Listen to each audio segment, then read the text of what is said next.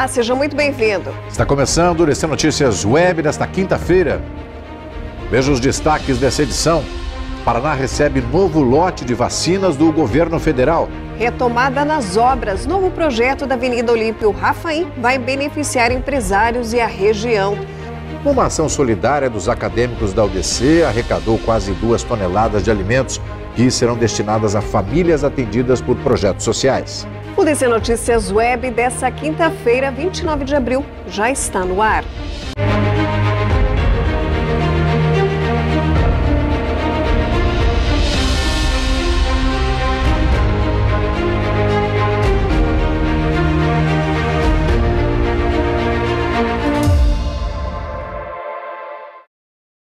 O DC Notícias Web desta quinta-feira abre essa edição falando sobre uma ação que mobilizou acadêmicos da UDC.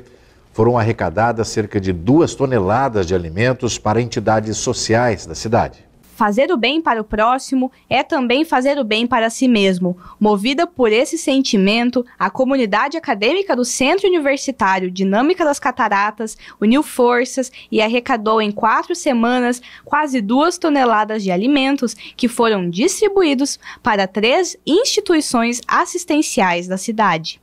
Esse é um programa de extensão dentro da política dos direitos humanos, onde nós é, trabalhamos com é, essa espírito de solidariedade dos nossos alunos de toda a academia.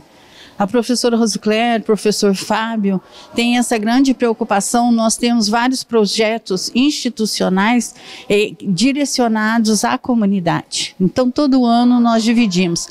E este ano nós começamos mais cedo, devido à necessidade da comunidade que nós estamos passando nesse período de pandemia.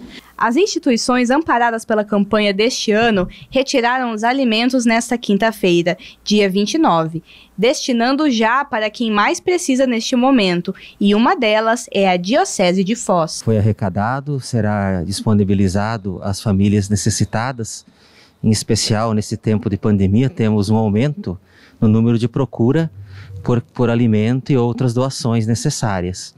E via Caritas Diocesana, pela Cúria Diocesana, a Diocese encaminha esses alimentos, atendendo muitas famílias no território das paróquias, né, que envolve os bairros aqui da cidade de Foz do Iguaçu. A Casa da Luz, que há 27 anos realiza um trabalho assistencial todas as quartas e segundas com os moradores de rua, com cerca de mais de mil marmitas por semana, além da distribuição de cestas básicas e roupas, e precisam de todos os itens, até os mais básicos. Nós necessitamos às vezes de uma coisa que parece tão básica, como eu comentava um pouco antes, que é o sal. Sal uma, parece uma coisa tão simples, mas alguns dias nós temos dificuldade de ter sal para colocar no alimento, para enviar os alimentos. Então hoje nós estamos recebendo uma belíssima doação, né? Que inclusive tem bastante sal, muito obrigado. Não vai nos faltar. E continuamos essa campanha e gostaríamos até de diminuir, mas para diminuir isso tem que diminuir os necessitados, na é verdade?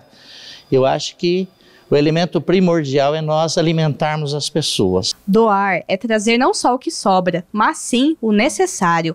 A terceira instituição que também recebeu parte da arrecadação foi o Sopão da Madrugada, que tem cinco trabalhos assistenciais em seu projeto, levando alimentação, higiene e capacitação para quem mais precisa. Fizemos graças, né, hoje nesse momento, graças ao DC, nós vamos fazer esse elo entre o DC, nós e aqueles que precisam, né? Estamos passando por uma dificuldade muito grande, principalmente nos bairros, pelo desemprego, pela falta de alimento. Então, essa doação hoje dos acadêmicos, né, veio em boa hora porque vai ser assistido várias famílias que o projeto está precisando. Em Foz do Iguaçu, um número expressivo de pessoas não compareceu para tomar a segunda dose da vacina contra a Covid-19. Para isso, o município organizou uma força-tarefa.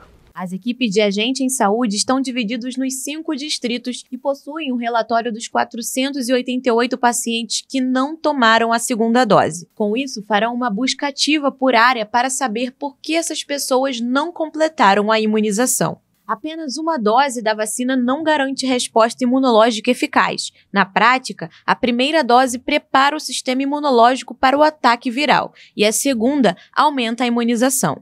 O atraso em Foz do Iguaçu é de cerca de 60 dias, e entre os pacientes que não tomaram estão inseridos profissionais da saúde. Mas se essas pessoas buscarem a segunda dose agora, mesmo atrasada, não há prejuízos para a imunização.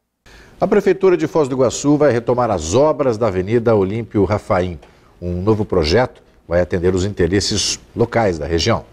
A licitação da Avenida Olímpio Rafaim tem impacto direto na BR-277, já que está ligada à marginal. O objetivo da obra é garantir que os trabalhos atendam às necessidades reais de tráfego e dos moradores da região. A previsão é que as obras tenham duração de sete meses. O investimento total nas obras, que envolvem 7 quilômetros da avenida, fazem ligação entre Três Lagoas e o Parque Presidente. A obra é uma estratégia para o desenvolvimento da região e será muito importante para a mobilidade do setor logístico da cidade, que utiliza a região de Três Lagoas.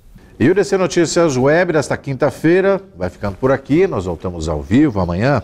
Obrigada pela sua companhia. Curta, compartilhe as nossas publicações em nossas redes sociais oficiais. Até amanhã. Até lá.